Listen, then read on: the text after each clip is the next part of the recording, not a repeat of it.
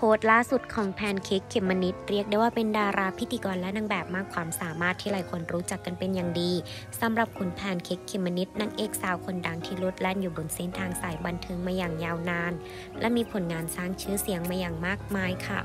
เรียกได้ว่าเพิ่งเข้าพิธีแต่งงานไปไม่นานสำหรับนางเอกสาวแพนเค้กเขมนิจ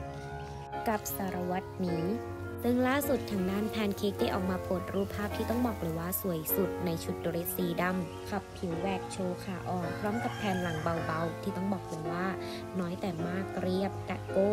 สวยดูแพงของจริงนั่นเองค่ะ สมกับตำแหน่งไทยซูเปอร์โมเดลของจริง ต้องบอกเลยว่าชุดนี้ถ้าหุ่นไม่ดีใส่ไม่ได้ เพราะว่ารัดรูปเห็นสัดส่วนจนหลายคนโฟกัสหน้าท้องของสาวแพนเค้กที่แบนเรียบ บ่งบอกถึงการออกกำลังกายอย่างดี ทั้งนี้สำหรับเรื่องราวความรักของสาวแพนเค้กที่หลังจากแต่งงาน หลายคนก็รอคอยข่าวดีเรื่องการมีทายาทค่ะ